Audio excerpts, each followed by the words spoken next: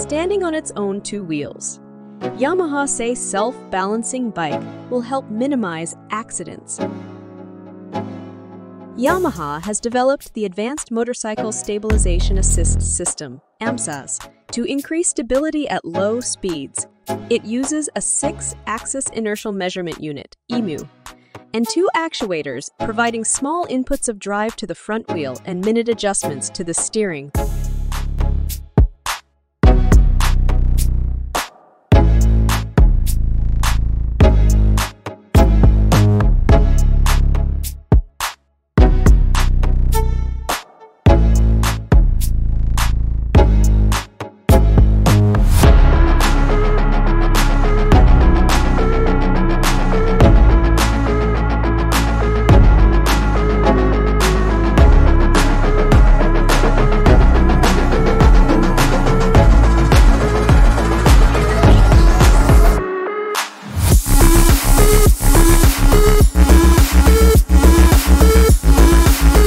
Subscribe to my channel for more motorcycle news.